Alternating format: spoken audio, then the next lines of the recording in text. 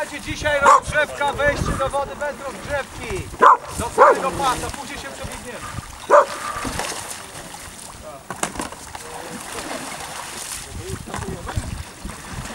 Tak, bo trzeba zrobić korytarz, żeby wejść i tyle.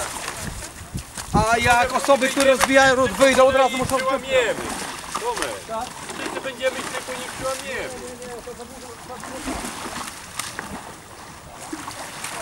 Jeszcze nie odśnieżałem w wodzie. Skakuj z nami. Skakuj. Andrzej, jestem ciekaw, czy ty dziś nie zanurkujesz.